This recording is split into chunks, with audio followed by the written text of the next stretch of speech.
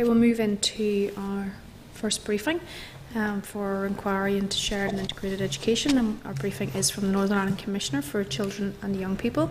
Um, you have the, the clerk's cover note at page 242 and then the submission to the inquiry from, from NICCY. This session will be unstarted. And we have our two witnesses. We have Patricia Lewsley Mooney, who is the current Commissioner, and Dr. Alison Montgomery, the Senior Policy and Research Officer.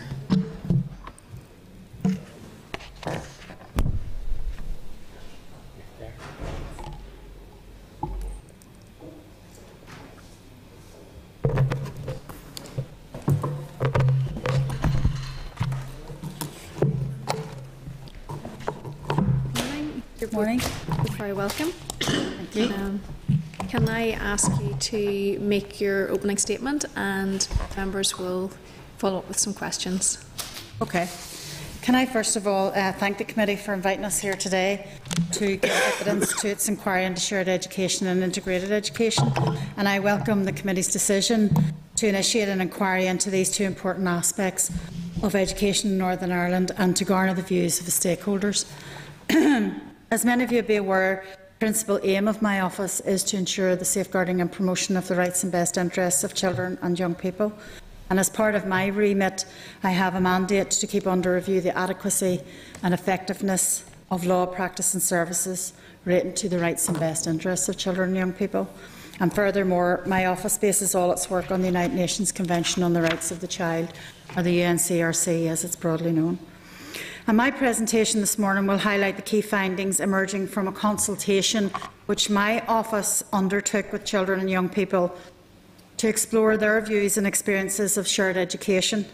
The inquiry's terms of reference address the nature and definition of shared education, key barriers and enablers for shared education, and what priorities and actions need to be taken to improving sharing. Children and young people discussed these issues during the consultation, and I will make reference to their responses throughout this presentation. As you know, the Department of Education uh, established a ministerial advisory group to explore and bring forward recommendations to the Minister to advance shared education in Northern Ireland. And in line with my remit, uh, which I have just described, I offer to assist the Minister by consulting children and young people about shared education with the intention of ensuring that their views were incorporated into the Ministerial Advisory Group's report.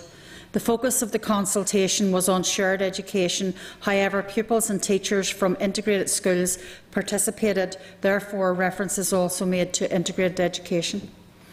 Although the consultation was completed within a very short time frame, uh, my office was eager to ensure that as many children and young people as possible were able to participate. So there were two strands. Firstly, workshops were conducted with primary school pupils aged between 8 and 10 and post-primary age pupils aged 14 to 17. And secondly, surveys were completed by children aged 10 to 11 years and young people aged 16. And the surveys were commissioned from ARK, a joint initiative between Queen's University Belfast and the University of Ulster, which devises the Kids and Young Life and Time surveys, two modules of questions relating to pupils' attitudes and experiences of shared education were included in each of the surveys. 38 workshops were conducted in 21 schools across Northern Ireland, involving more than 750 primary, post-primary and special school pupils. A key objective was to ensure that pupils from as many school types as possible were able to participate, and care was taken to ensure that the sample of schools recruited was as representative as possible. The workshops explored pupils' awareness, understanding and experiences of shared education and their views about how it should be taken forward. And I'd like to give you an overview now of the findings emerging from that consultation. Less than 50% of post-primary pupils indicated that the term shared education was familiar to them. Where they did recognise it, this was usually due to their knowledge of or participation in shared classes at GCSE or A level. Very few primary pupils were aware of the concept, although after it was explained, some suggested it referred to activities such as joint projects or trips with other schools in which they or other pupils had been involved. The, this lack of awareness was not entirely unexpected, as the term may have not have been widely used in schools and a significant proportion of primary pupils indicated that they had not had any experience of shared activities. Post-primary pupils' experiences of shared education were in many cases linked to their participation in shared classes, although other shared activities were also identified, such as joint residentials, drama productions or sport events with other schools. Pupils also talked about sharing sports facilities or transport, and the potential for pupils to participate in shared activities appeared to be influenced by a number of factors, including the subjects they studied, the class or year group they were in, and their involvement in extracurricular activities. Children and young people who had taken part in shared classes or activities expressed a range of opinions with regard to their experience, both primary and post-primary pupils welcomed the opportunity to interact and make new friends with pupils from other schools.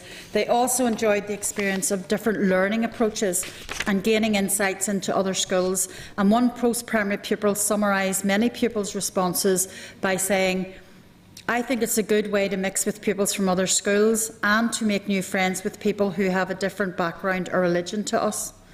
A clear benefit of shared classes for post-primary pupils was the expanded choice of subjects available at Key Stage 4 and A level, and one pupil commented that it gives people more subject options. It's a unique opportunity. Some pupils uh, reported having less positive experiences. These often occurred where they had limited or negative contact with pupils from other schools. They talked about feeling uncomfortable if they were in a minority or feeling out of place when they attended classes in another school. And as one post-primary pupil said, joint classes are a bit awkward. We all sit at one table, but we don't really mix with the pupil from the other school. Another pupil said, You feel like outcasts if you're going to a class and walking through the school and they look at you because you're in a different uniform. A number of logistical issues, including transport arrangements and timetabling variations between schools, also impacted on the pupils' experiences. During the consultation, children and young people were asked to think about the kind of approaches and activities which they believed would be uh, effective in the development of shared education and a significant majority of respondents to the Kids Life and Times and Young Life and Times surveys agreed that shared projects, classes and facilities would be a good idea. Pupils in the workshops explored this question in more detail, calling for more collaborative learning approaches to be employed and for additional subjects and activities to be included. Pupils said group work and more mixing hmm. activities would make it more enjoyable and subjects like technology, art, PE, science and music, you could do them with other people better.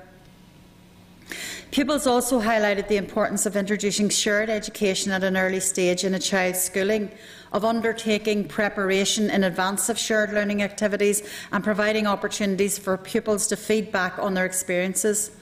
As well as highlighting opportunities for shared education, pupils were asked if they thought there were any barriers which might dissuade young people from taking part. And in response, some students, mostly at post-primary schools, acknowledged that they would be concerned about sharing their education with pupils from particular schools. Their concerns related to academic ability, cross-community issues, standards of behaviour and the increased potential for bullying. And to illustrate these concerns, a grammar school pupil commented on a non-selective school and said, I don't want to sound stuck up, but they don't push you there, we get better grades. And a primary uh, pupil admitted, I don't like the fact that if another school joins with us, we will have bullies, and the bullies will spread when we, when we do shared education. So Logistical issues, including travel arrangements, timetabling and different school rules, were again cited by many post-primary pupils, as well as principals and teachers, as significant barriers. A majority of pupils thought it was important for pupils from different schools and backgrounds to have an opportunity to learn together. Indeed, in a number of the workshops, pupils contended that the aim of shared education should not be restricted to bringing pupils from the two dominant religious traditions together, but instead involve pupils from all types of schools. However, pupils acknowledged concerns about shared education occurring between particular school types, and reservations were expressed by pupils at grammar schools uh, have been mentioned. In response, some pupils attending non-selective schools felt that grammar school pupils would regard them as less able and therefore be reluctant to become learning partners. Pupils attending special schools were very keen to engage with their peers in other schools, although a few did admit to being a little nervous going somewhere new. In response, pupils from mainstream schools highlighted a number of issues which they felt needed to be considered in advance of any shared activities with pupils um, uh, at special schools, including the potential of for bullying, accidents, logistical difficulties and the challenge for teachers to effectively teach all pupils together. A special school teacher also welcomed the educational opportunity for pupils through their school's membership of an area learning community. And although she noted there was also resistance on the part of some mainstream schools to engage with special schools, Irish medium school pupils reflected on the challenges they would encounter through collaborative learning with English medium schools, where there would be limited opportunities for them to speak Irish. Integrated school pupils expressed a willingness to engage with pupils from all schools, suggesting that their experience and the modus operandi in integrated schools could support other schools to effectively participate in shared education. Principals and teachers responsible uh, responses echoed some of the views expressed by pupils, particularly in terms of the opportunities to build relationships and the logistical issues associated with arranging shared education activities. Additional challenges included funding, promoting shared education through cross-community links, and for a minority of teachers, managing staff or parents' concerns. To conclude, I would like to briefly reflect on the findings. It was that, evident that shared education in most primary schools was associated with enhanced curriculum provision and the opportunity for pupils in year 11 to 14 to participate in joint classes with other schools. In primary schools, pupils' hmm. experiences were generally through joint projects or trips with other schools. In some workshops, pupils indicated that participation in shared activities had only been available in a specific year groups. Given the commitment in the programme for government for all children to have the opportunity to participate in shared education by 2015, significant effort, efforts will be required to expand provision across all year groups in primary, post-primary and special schools if this is to be realised. Many pupils recognise the value of shared education through the potential benefits for their learning and opportunities to develop relationships with pupils at other schools. While many recounted positive experiences, a significant minority offered less positive feedback, and some described collaborative activities and joint classes as shared but separate. Because pupils remained within their own school or friendship groups and interactions with pupils from the other schools had been limited. Other young people talked about feeling uncomfortable when attending classes in another school, particularly where they were in a minority. And in taking shared education forward, it will be important that the objectives are very clearly communicated to all involved and that pupils are encouraged and supported by all stakeholders to be equal and effective collaborators. The provision of quality learning experiences must be a priority for all pupils, and appropriate mechanisms such as school councils or buddy systems should be put in place so that where pupils have concerns, these can be dealt with sensitively and appropriately. The attitudes of some post-primary pupils, particularly those who have less experience of shared education, were strongly influenced by their perceptions of other schools and pupils. Perceived differences in ability, social background and religion influenced their desire to engage in shared learning initiatives, and in some cases pupils' views had been influenced by their parents or teachers. If shared education is to be regarded as a positive learning opportunity, there is a need to confront and challenge such preconceptions. Evidently, one of the most effective ways to do this is to involve pupils in positive uh, shared learning initiatives. However, it will also be important to consider other ways to address pupils' concerns prior to their participation. As one principal commented, it's important to make people comfortable and get them in a position to embrace challenges. The consultation highlighted a range of issues relating to specific school types, which should be considered by the Department of Education. Pupils and principals in Irish medium schools were keen that the department consider how their schools could be included in shared education as, as it is taken forward. It will also be important to consider how mainstream schools can collaborate most effectively with special schools and be supported to address any attitudinal or practical issues arising. And, as already highlighted, pupils and teachers in grammar schools expressed reservations about the benefits of collaborative learning with pupils attending non-selective schools. The perspectives of pupils and staff in integrated schools were quite distinctive.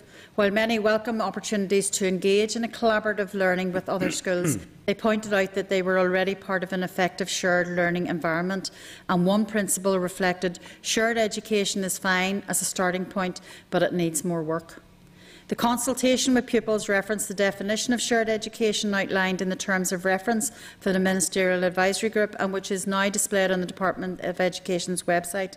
This definition references the need for shared education to provide for learners from all of the se Section 75 categories and socio-economic status, and two, promote equality of opportunity, good relations, equality of identity, respect for diversity and community cohesion. Findings from the consultation indicated that some shared education activities fulfilled these requirements more successfully than others and in some cases the main objective appeared to be supporting the provision of the entitlement framework in the post-14 curriculum and pupils' access to a wide range of courses. In others, collaboration was occurring between schools of a similar management type or ethos, and if pupils are to experience shared education as defined by the Department's clear aims and objectives need to be outlined at the beginning of any shared initiative to which all stakeholders can subscribe. Ongoing monitoring and evaluation of activities which also involves pupils should be undertaken to ensure all objectives are being met. And lastly, the 2002 and 2008 concluding observations for the UN Committee on the Rights of the Child recorded the Committee's concern that education in Northern Ireland remained largely segregated. And in 2002 it recommended that the Government take measures to establish more integrated schools and in 2008 it called on government to take steps to address segregated education. In concluding, I would like to say that I welcome all the efforts to address separation in the education system in Northern Ireland and the introduction of measures which encourage greater collaboration and understanding and which promote equality and respect for diversity. If shared education is to be implemented as an envisaged by the Department. This will create both opportunities and challenges for schools. Therefore, it is vital that all those involved in the delivery of shared education are effectively supported in their efforts to provide positive and meaningful shared experiences mm. which are educationally and socially valuable for all of the pupils. Thank you very much. Thank you. Thank you, thank you for that presentation, and, and I'm conscious that this may be um, the last time that you present in, in your in your current role, um, and, and I don't wish this isn't a criticism whenever I actually ask you about this because I am concerned about how we consult with young people, and um, I know that I mean you, you've you've carried out various consultations over over your terms in office, um, and I really just wanted to, sort of to see whether or not there are um, there's a formalised way in which we can maybe start to look at how we consult. And I know that you have close links with this, with, with, with the universities. I'm just wondering whether or not you have any relationships with the education and library boards and the maybe more, more formal routes and structures that they have. Um, well, yes, we would have engaged with the education and library boards and previous chief executives that would have been on them, so we would have had conversations with them. Obviously, we have those conversations also with the Minister for Education, and one of the areas, particularly for participation, that we're very keen on is school councils and the opportunity for children to have their voice there. Um, and certainly, we would engage with the committee um, when you're looking at this inquiry that you ensure that you get the voice of children in there, and that might be one mechanism by where you could gain some of that information, and in particular the views of young people. Um, but yes, we have engaged with many bo bodies across the board, um, and particularly in my eight years of being in post as well. I mean, and I appreciate. me in this, I you, you have you've, you've you've reached out um, and you've tried to get as as broad a sample as possible, but at the same time, you're still restricted to 21 schools, which is still quite a tiny um, number by comparison to what's in in, this, in the school estate. So, you know, is there an opportunity to formalise um, a relationship moving into the with the education authority. Well, I think um, what I what I'm trying to do is to get is to get government generally to look at the issue of participation and what what we have done over the last four years is engage with government around participation policy statements of intent. Um, and they've signed up to those, and we've gone back a year later and said, You've signed up to this, and what have you done? We have now extended that out to the department's arm's length bodies, so we have sent the same to the education library boards. Um, I recently have met all but two of the new chief executives of the uh, councils. We wrote out to 26 councils and 14 responded. So we think it's timely now because we have some councils like for instance, Lisburn signed up to the statement of intent, but Castlereagh didn't. So we need to ensure when they come together as a new super council that they sign up from day one. Um, so we're trying to engage that we give some of that responsibility on to the duty bearers um, to ensure that they have a mechanism to engage with children and young people. So the education library boards, the health trusts, all. So there's about 29, um, apart from 11 out of the 12 government departments, have signed up to uh, the participation certificates of intent. So that's kind of the ongoing work that we're trying to do to get government and its arm's length bodies to actually think about the engagement of the participation of children and young people. And I, I think just add just one wee point, sorry to interrupt. Um, just wanted to add one wee point that we have discussed um, the questions that we used and the engagement that we had with children and young people through the surveys and the workshops with the Department of Education. And they're now going to take the questions that we had used in the Kids and the Young Life and Times survey forward and to administer those every two years with um, pupils across schools to gauge, um, to get some sense of their of their engagement with shared education and, and their experiences of it. And yes, it was. I, would agree, Chair. It was a small sample. Um, it was really the time constraints that we had in order to contribute to the ministerial advisory group's work. But the 21 schools were literally representative of every type of school in Northern Ireland, taking into account sectors, ethos, um, ge- geographical location, and so on. So um, we, it was a small number of schools, but it was um, you know a good number of pupils in a sense and as I'm well. not, and I'm not being Yeah. critical No. of the Yeah. fact that it is. No, but we, we were aware it was a modest sample, really. Yeah, because I understand that it, that it is a challenge in time constraints and so on, but I'm just wondering whether or not there is some other way that There we- has to be a better get- mechanism, I agree with you, and that's where we've been doing some work around participation to try to encourage organisations and obviously arm's length body and government to look at the issue of participation to mainstream it so that when the Department of Education or Education Library Boards are looking at their policy or legislation that they actually include the voice of children and young people.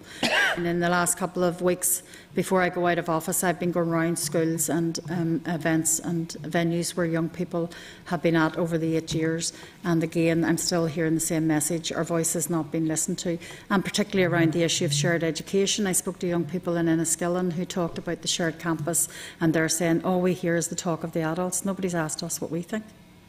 So. Okay. I mean, you'll, you'll be aware that the, the current um, education bill is likely to include um, the provision of requiring the authority to encourage, facilitate and promote shared education uh, and, and taking that as it is uh, and moving forward. How do you think that that can be assessed um, with regards to participation amongst schools? Well, I think that all needs to be written into the detail of the guidelines that come out of any piece of legislation around shared education, that children and young people must be included. Again, I can only go back to the work that we're doing, say, for instance, at the minute with the Department of Environment around their guidelines and community planning and ensuring that children and young people's voice are included in that and they're specifically mentioned. So if you're looking at the legislation that will flow from this piece of work, shared education, we need to ensure that children and young people are mentioned in that and embedded and that their voice has to be heard throughout the process and in the evaluation and monitoring of that. Okay, and would you say that would be your key recommendation? Very much so, yes. Participation of young people. yeah. Okay, thank you. Mr Lunn? Oh, thanks, thanks, Chair. Thank you very much for your presentation. Um, the, the, the, we seem to have got mixed messages. I mean, there's one thing about asking children for an opinion or questions, they, they just give you it straight, you know. They, they haven't acquired our diplomatic skills, they just tell you what's in their, in their minds, and I think that's brilliant.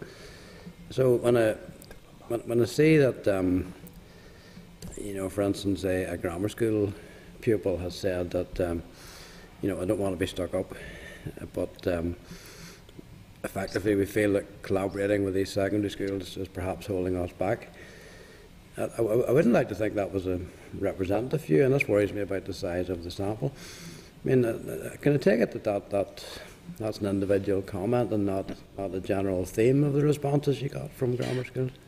Maybe I can take that one. Um, we were in four grammar schools, and um, in three of those grammar schools, there was quite uh, an extensive shared education um, set of opportunities, mostly through uh, GCSE and A level courses. Three of in three of the schools, um, all of the young people talked about some of the concerns they had about engaging with non-selective schools. Only one of the grammar schools was unanimously uh, unanimously positive about the engagement with non-selective schools. The other schools had some reservations around that. Now, the thing about the sample to say is that um, we were trying to, to collect a diversity of opinion from young people, so we really wanted to get the range of views. In some cases, um, the young people hadn't actually participated in shared uh, learning opportunities and in some cases those were also the grammar schools speaking. Um, so there is work to be done to try and reassure pupils that their learning will not necessarily be um, threatened in any way or that it's going to be um, disadvantageous to them to engage in, in learning with other skills. But there is a strong perception out there in some of the grammar schools, which was also coming from the teachers and from the parents, where there was a concern that if their child or the pupil was uh, engaging um, in a, uh, taking part in a, or taking a, an A-level course in a, a non-selective school, that perhaps they wouldn't be um, experiencing the same level of And I think the important thing is that if, if someone has um, a, a misconception or um, a fear of something, it needs to be addressed. And I think that's where shared education needs to go beyond the academic um, strand of this. It's about understanding and respecting and listening to the voice of young people. And if they have a concern how that can be dealt with and how those concerns then can be met. Because again some of that may be around influence from teachers or parents but it could also be just something that they've heard somewhere and may not be reality. Um, and it, it's how the school deals with that and ensures that all of the pupils that get involved in any kind of shared education are valued. Eh, Right, because it seems to me that um, if, if, if you take sharing as being a process to try and improve educational outcomes, uh, that almost the best form of sharing is probably between a successful grammar school and a slightly less successful secondary school down the road. And it, it, it does worry me. I mean, what, what the children say is kind of instinctive. When, when, when you get it from teachers and parents of grammar schools and attitude like that, that they effectively don't don't want to be bothered, don't think it might hold their children back, and they can't see the virtue of of giving a helping hand in particular subjects or particular levels to uh, you know a school which which needs that help. That's um, that's that's a wee bit um, disappointing. Um, But can I also say that's assuming that their perception is right? The children that come from the non-selective school could probably just be as capable and able when they merge and, and they do the subject together. Again, it's some of this is around perception. Yeah, absolutely. yeah. The other, the other perception, and, and and that's my last one, Chair, um, the reaction of children in integrated schools who seem to have made the point that, uh, you know, we're perfectly happy to co- collaborate with other schools, but made the point that they're already actually doing it uh, within their own school. Um, have you any comment about that, that reaction? I think it's about looking at all of the models of good practice out there and sharing it across the board. And if integrated schools already think they're doing some of that, then sharing with other schools will help enhance the other schools. Yes. And indeed, Um, some of the primary pupils said, well, we might be able to show pupils in other schools how we get on in our Yes, school. And precisely, yeah. they were actually seeing themselves as educators, um, you, that- you know, that- in a that- sense. That so it moves you on to the societal aspect of it. That, I mean, I, I'm, I'm, I'm sure an integrated school and a, another school in the locality could collaborate perfectly well. No reason why they shouldn't, but there may be a, a- an opportunity there for the other school to learn exactly that. That, that there's, there's, there's no boogeyman here. This is a perfectly valid way to do your education. Okay, thanks very much. Thank you. Mr Rogers? Thanks, and apologies for having to leave in the, in the middle of it, and apologies if this question's already been asked. No, it was a very, very useful insight you've given on, on the whole thing and from the school's point of view. Would it be helpful if we have really had a definition of what shared education is and have, say, a five, five-point scale to measure the level of sharing? You know, from it, it seems such a range from, like, for example, with a school like St Columbanus in Bangor in here last last night uh, in the German debate and integrated schools at one end of the spectrum, and then with this, this, the two schools that maybe have the annual visit to the pantomime. Would it be helpful if we had, for schools and for everybody, we had like a five-point scale of, to measure the level of sharing?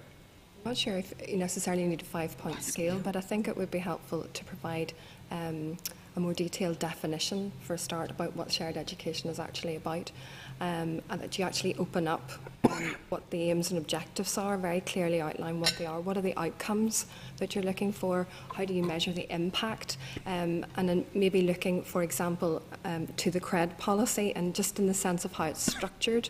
Um, it goes into a lot of detail um, about what the aims and objectives are, what the values are, what the principles are, but also what you're seeking to achieve at the end, about meaningful interaction, about pupils' full participation, about involving pupils in the planning and evaluation of, you know, of shared education. So certainly there's a lot of different shared experiences and it could be sharing resources. And there's a question there about what benefit there is to, to children's learning and to their social development through the sharing of resources where they perhaps never meet pupils from the school in which they're sharing the resources, right through to pupils going on a regular basis um, to another school or meeting somewhere uh, in a neutral location and engaging in a very effective and a meaningful way. So there's definitely, you could say there's a continuum, I suppose, in a sense of, of what shared education actually is what it's actually achieving and what the impact is then on, on the pupils. So I'm not sure about a five point, but you could certainly seek to define different levels of sharing, yes. And then in terms of you talked about the barriers, did you, you know, it was very interesting to listen to the views of pupils and so on. Did you find the, the, the, the, geogra- the ge- geography of the whole thing, particularly in rural areas, a major, a major barrier to sharing? Yeah, and, and some of those were down to maybe the cost of transport or the distance between schools or, or, or different kinds of issues. So I think it's not about one cap fits all either, but it's how you can be flexible within that kind of uh, number of schools to be able to be inclusive um, and for them to be able to say, here's the best way of, of us doing that. And sometimes part of that will be the funding that the school might need in order to be able to partake in some of those activities. Okay, thank you. Thanks. Thank you. Mr Newton. Uh, thank you, Chair, and I thank the Commissioner and uh, Ms Montgomery for, for coming along today. I'd just ask two questions. I think you've partially answered the, my first one in, in relation to Mr Lunn's question. I mean, is the general perception that shared education is a threat or an opportunity? Uh, and addressing some of Mr Lunn's remarks, he concentrated on, on the academic aspect of the grammar schools, but in a wider context, is it perceived as a threat or an opportunity? And maybe just to give you the two questions, in page 70 of your report under the area-based planning, you made reference to many pupils and teachers were concerned about the potential implications of area-based planning proposals. Maybe could you expand on, on that just a bit and, and what those concerns were and what they perhaps seen as presumably they saw that as a negative impact or maybe they saw it as a positive impact. Okay, I'll maybe respond to your, to your second question first. Um, yes, as part of the, the consultation, we, we did ask pupils about their views of, of area-based planning, what they knew about it, what they understood, and, and what they saw as, as opportunities and, and also possible, I suppose, threats. So um, in a sense, uh, younger pupils were concerned perhaps about getting together with pupils from other schools who they didn't know, about their school becoming too, too big, about it affecting the teaching and learning provision within the school, um, about bullying comes up, came up a lot amongst primary pupils um, and there were concerns that maybe you'd be meeting pupils from other schools or having to be educated with pupils from other schools who were nasty or unkind or who didn't want, want to play. So at that, that level there were concerns about what that would mean in terms of you know different different groups of pupils I suppose within the school.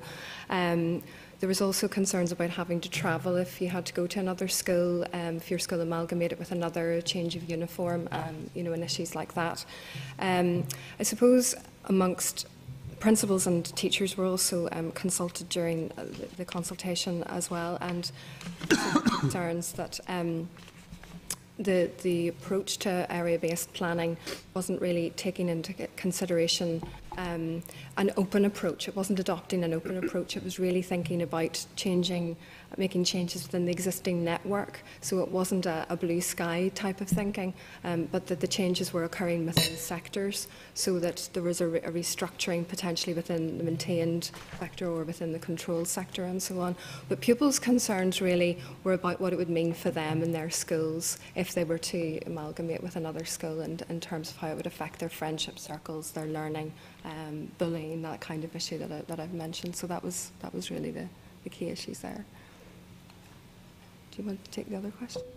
Which one was that? Um, yeah, about opportunities. I would say I- overall, sorry. Sorry, no. Overall, I would have said about 60%, 60 to 65% of pupils were very positive, you know, about shared education, about the opportunities that it created, whether that was academic opportunities or social opportunities.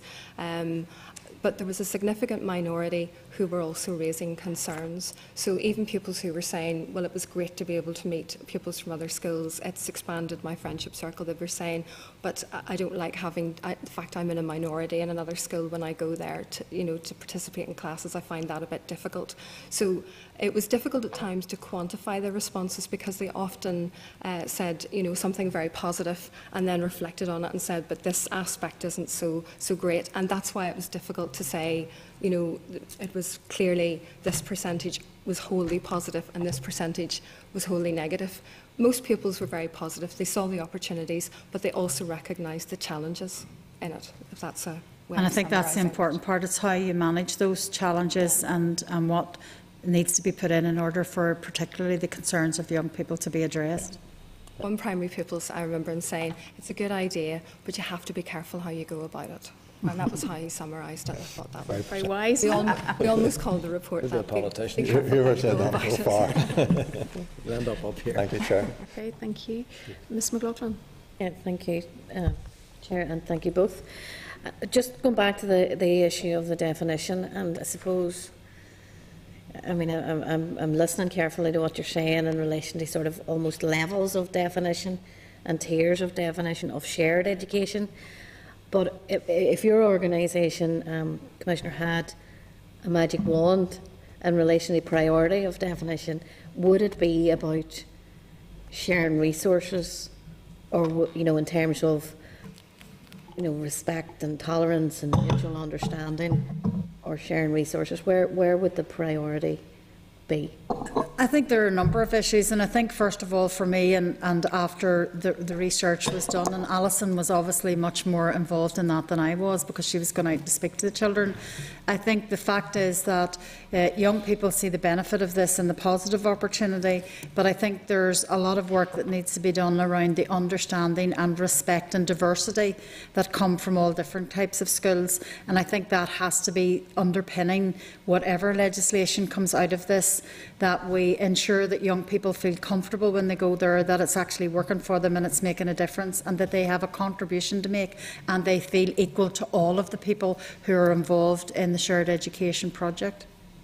But it's, and I'm just being a bit I'm a bit of a devil's advocate in this one, but if it is ultimately about, you know, the work on understanding and I'm mm. assuming good relations and Yes. tolerance, does that mean that educational outcomes are secondary to that? I I don't think they're secondary. I think they can run alongside that. I mean, the issue here is that this is in an education environment, and obviously, education is important and the outcomes for that. But what you're asking here is for shared spaces and shared places, and we need to ensure that if young people are going to go in to be educated in those shared spaces and places, that there's, a mutual understanding and respect of each other, and that they feel equal when they're going into into those um, places to be educated. Okay, okay, so I suppose, given, I mean, what I picked up from your presentation was, yes, the variety in terms of definition of shared, but more, more clarity in relation to integrated. Yes. Do you envisage then that, that integrated is the logical con- conclusion of, of, of, of a shared education process? No, I think edu- integrated education has, uh, is part of the process and it's part of, of education in the widest sense and we would support that. But what we're saying is that whatever process comes out of this, it has to be embedded in equality and a strong ethos around education um, and you know very strong um, aims and objectives on how this needs to be delivered. And and for me, as I said from the very beginning, the voice of young people in that on how they see it's working for them and where the barriers are. Okay, and fi- finally, Chair, if I may, in terms of shared education processes, and again, because of the your very clear call for, for definition, but the variety of, of, of views on it, what evidence have we that shared education processes will provide or produce more socially and economically viable and even religiously diverse schools?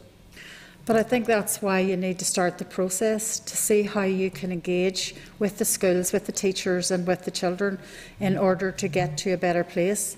And, and I'm always worried that when you start something, we, be, we make it too rigid because there will be different flexibilities from urban to rural to, to other places that will that will need that flexibility to be able to deliver that.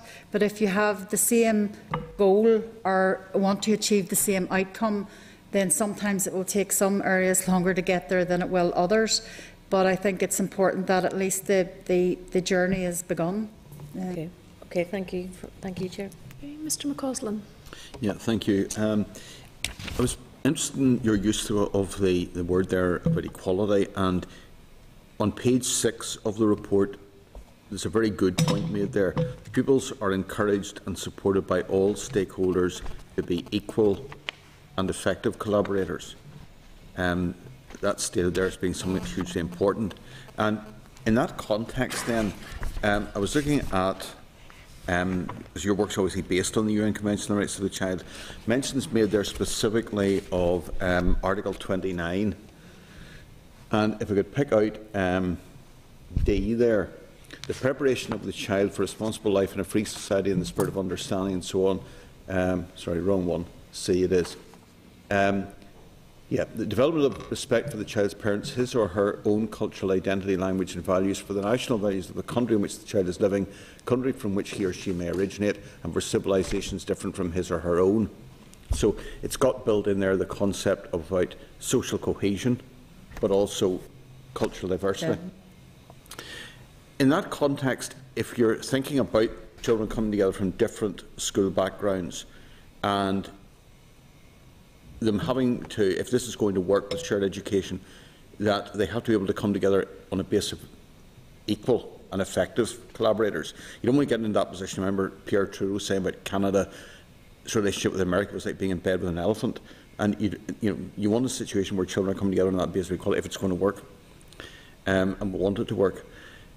So, um, was there anything to suggest that with schools in different sectors and even within a particular sector, having different approaches to cultural traditions, that children coming together may not be coming together on the basis of equal collaborators because one may have a much um, different view from their school. Children will come with a cultural tradition from the home, but if the school doesn't affirm it, it's simply what's left at the home. But some schools do affirm much more than others. And there's also paragraph uh, 31.2 where it says in that context that state parties shall respect and promote the right of the child to participate fully in cultural life and encourage the provision of appropriate and equal opportunities for cultural activity. There's no onus on different sectors to provide equally for cultural traditions. How do you see that? Did that arise as an issue? Maybe it's something that the children aren't aware of. Maybe it's something they're not going to express it in those terms. But is it something that they're conscious of? That there may be a fear of, well, they know more than, than I do, or they do more, or whatever. I, I'll let Alison come in, as I said, because she was more involved in the actual. But I think the important part is that there's an understanding, and maybe this is where sometimes there needs to be that single identity work done in a school first before you bring two schools together. So, from that perspective, and it's understanding, but it's about when you bring uh, children or young people together that they have an understanding and a respect for the others um, difference or diversity or culture or whatever it is, so that it's not not going in with these kind of preconceptions um, of some of the issues that were raised in the in in, in the findings. So, and and the, if a young person either feels that their voice isn't being heard, then that needs to be addressed, or that someone else um, finds it difficult or uncomfortable, then that needs to be addressed as well. So, Um, in answer to your question, um, yes, the issue is touched upon more so in post-primary schools. Um, so it was around um, an awareness. First of all, was there an awareness on the part of some pupils that uh, they were actually engaging with pupils from another cultural tradition? And in some cases, they would say we got together with you know the school down the road, but they didn't actually seem to be aware that the, the children were coming from a different cultural background or religious background to them. So there was some, in some cases, uh, there wasn't actually even awareness that, uh, that the other children were different. The other issue in and around um, concerns yes, some pupils did identify uh, potential for there to be difficulties in engaging with children from other cultural backgrounds. Sometimes this was in advance of having engaged in uh, shared education opportunities and saying, well, that might be an issue, it might be a difficulty. Um, but other pupils were very open and said, you know, something along the lines of, look, we, we need, we can't tiptoe around, was a, was a, a quote actually from one pupil, we can't tiptoe around this issue. Um, we need to engage with pupils from different backgrounds, including those from different cultural backgrounds, and we need to talk about the issues that are that have been difficult for so many years. I suppose you mentioned equality as well. Um, I think that comes up in terms of small numbers of pupils going to another school, um, you know, to take part in shared classes. And certainly, on a number of occasions, we were finding there was maybe only one or two pupils from one school going to another, and they found that quite difficult. You know, where they really were in a minority. But it would also, would it not apply in the context of um, the experience, education, understanding of their cultural identity? I mean, if, say, you go to an Irish medium school, there is a cultural ethos there of Irishness, um, and that's taught and it, permeates all that the school does because that's that's the purpose um, of, of the school. Another school may tread very lightly around cultural traditions. So I, I just wonder there. There's probably an issue around support for teachers, Exactly. you know, in advance of engaging then in some of this, this work. And we, we did say this very clearly in the report that um, a lot of uh, a lot of experience, expertise, and knowledge has been built up through work done through the CRED um, policy and, and taking that forward. And we found a lot of teachers in schools, and particularly in primary schools, um, felt that they had developed, you know, a lot of understanding around this kind of work, both single, single identity and, and work with other schools. So there's a lot of expertise out there um, amongst teachers, and it's about sharing that. It's about finding ways of, of utilising that, and, and also within integrated schools where pupils and teachers, sorry, have experience, obviously, of dealing with controversial issues on a daily basis. And it's about, I think, harnessing some of that expertise, that knowledge, and sharing that as shared education goes forward. So there is there is work to be done. Just very quickly, two very brief points. On 31.2 there, have you, uh, as a commission, ever looked at that issue of the equality of cultural provision within different education sectors? As to whether that 31.2 is actually, in, in terms of reporting and monitoring the implementation of the Charter, has that ever been looked at? Suppose we look at it in educational contexts, you know, we would certainly take it into account considering the provision of education, whether that's looking at special educational needs, Needs, whether uh, it's looking Yeah, at but shared th- th- that's very specific there. It says equal, equal opportunities for cultural activity. You know, we're not talking here about whether children have their, you know, access to teaching suppose about Well, it's or whatever. never, it's really never, it's never been something that has been raised with me as a commissioner that a child feels it's been denied its right to learn about its, its culture or, or um, in school in particular. So Um, it, it, it's not an issue that would have been The child is not going to raise it maybe if they don't know that they have a right. Uh, that's it. Just in that context, um, how, how would you know, how do you can you report on the thing or, or what is the current cycle with UNCRC reporting? It's supposed to be every five years. The last time we reported was in 2008, and the um, uh, the committee is behind in um, in delivering some of that. So it looks like as if we the next report won't be until 2016. Although the UK government, who is the state party that has to report, has already um, progressed their report and has been handed in to the committee. And what consultation was there with, um, in Northern Ireland in that regard?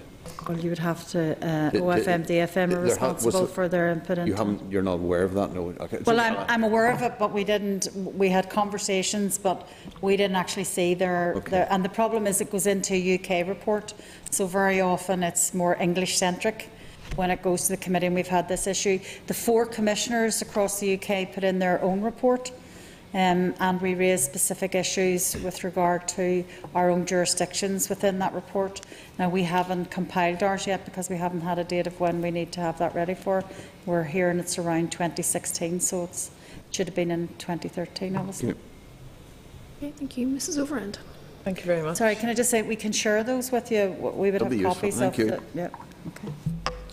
Uh, sorry, thank you. Um, it's, we've had an interesting discussion about uh, the definition of shared education, and I will not need to go across that again. But just to, you you mentioned at the beginning about prim- some primary age pupils were not even aware of the term shared education, and I don't really think that's any bad thing as long as they get on with it. No. And then I suppose as they get older, then they understand um, the academic benefits of of uh, shared education, and if they have, clear goals in, in what they're doing, then um, there are benefits in the, in the other aspects of, of their education and in, in their identity.